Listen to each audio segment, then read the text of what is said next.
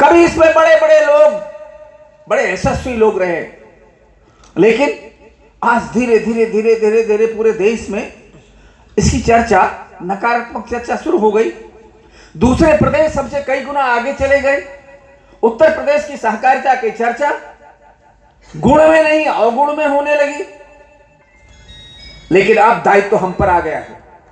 और दायित्व तो जो हम पर आया है तो हमारा ये दायित्व तो है, हम सारे लोग जिन पर यह दायित्व आ गया है, वे उस पूरे, जिस पुराने स्वरूप को चाहिए, उस स्वरूप में लाने के लिए कृत संकल्प हैं और निश्चित रूप से यह सहकारिता आंदोलन को हम गाँव के लिए, गरीब के लिए, किसान के लिए बनाएँगे। दरवाजे पर हम खड़े होंगे, ऐसा हमारा उपक्रम खड़ा होना चाहिए।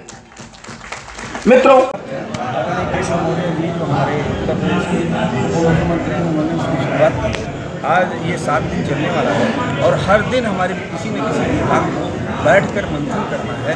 हम कितने अच्छा काम कर लें कि हम उत्तर प्रदेश में नंबर एक हो जाएँ जनहितकारी किसान हितकारी बन जाएँ।